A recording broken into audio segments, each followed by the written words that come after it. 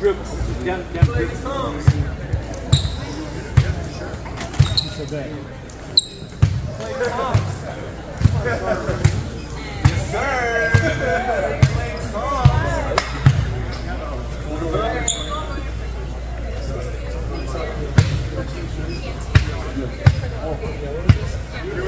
Got good to go.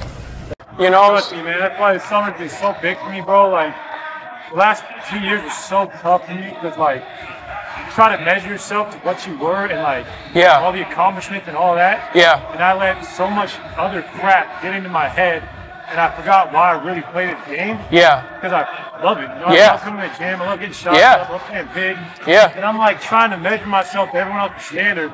And I didn't realize how big a waste of energy that is, man. Yeah. You see in the comments, you work, you're gonna get Yeah. hurt, bro. People are just, yeah, like sometimes they're rotting before and like and like don't ever let that stop you from what you do, bro. yeah, I feel like that impeded what I was great at last.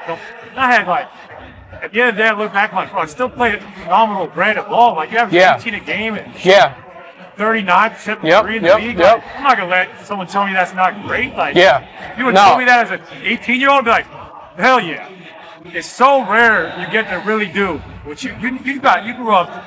That's all your friends back home. How hard it is to get a career that you like.